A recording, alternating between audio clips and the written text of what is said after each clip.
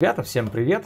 В рамках курса «Первое портфолио» запишу для вас короткое видео о том, как улучшить работу на примере вот этого дизайн-макета. Это небольшой формат, Euroflyer, пропорциональный размер 210 на 98. Очень классная задача для тренировки студентов в рамках курса, потому что формат небольшой.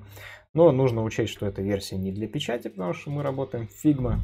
Но, тем не менее, э, интересный э, кейс для тренировки. В общем, Сейчас я покажу, как улучшить этот дизайн-макет.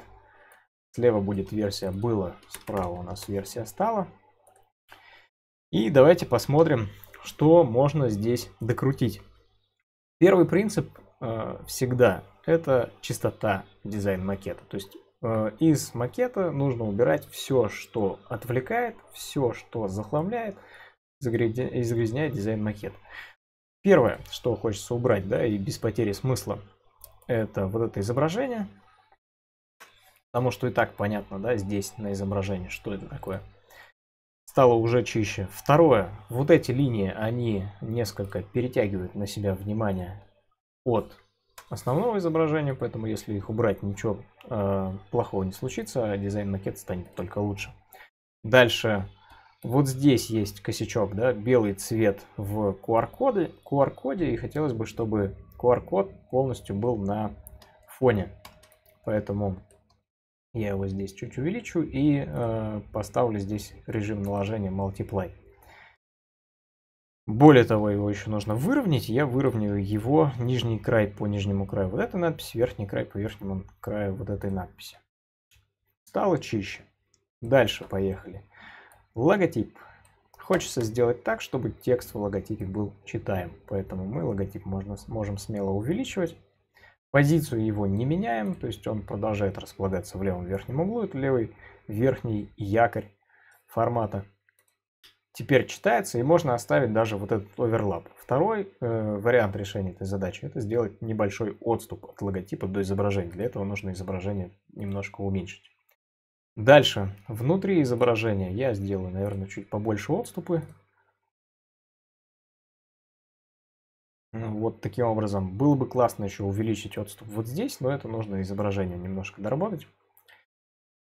Поэтому, наверное, я уменьшу, увеличу отступы, но не сильно. Примерно вот так.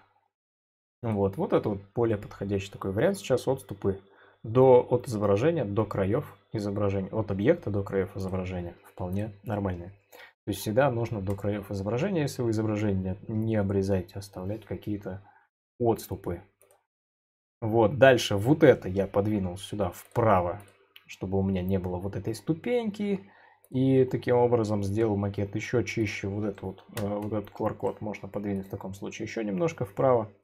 И нужно Осталось нам разобраться только с типографикой. Да? То есть здесь у нас шрифт Railway Medium, здесь у нас шрифт робота Regular. Предлагаю заменить э, шрифты, вот эти два шрифта, на какой-то один шрифт. Ну, Railway здесь мне не сильно нравятся цифры, да, которые прыгают по строке, и вот этот вот процент. Поэтому здесь я заменю на какой-нибудь другой геометрический гротеск, например, э, Мюллер.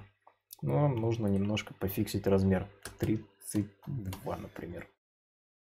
Плюс э, в капсе не так удобно читать, но на самом деле это не критично здесь, потому что э, количество текста небольшое, всего лишь три строчки, но тем не менее можно упростить и здесь и посмотреть, насколько ситуация станет лучше, если мы сделаем здесь regular.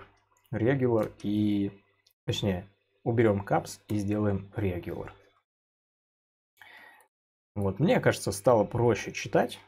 Я объединю эти два абзаца, поставив их ближе друг к другу и дальше до заголовка. И вот это, мне кажется, стоит сделать немножко меньше, чтобы была какая-то более явная иерархия в тексте. Но если посмотреть по логике, то на самом деле нужно уменьшать вот это и увеличивать немножко вот это. Ну, я оставлю эту задачу вам, если захотите попробовать. Дальше. И нужно выровнять изображение и все тексты по левому краю четко. Вот, выравниваем. Телефон можно выделить, наверное, с помощью Medium. И вот у нас получается такая работа. Оцените дизайн-макет, насколько он стал чище, проще. Если я что-то не заметил, обязательно пишите об этом в комментариях.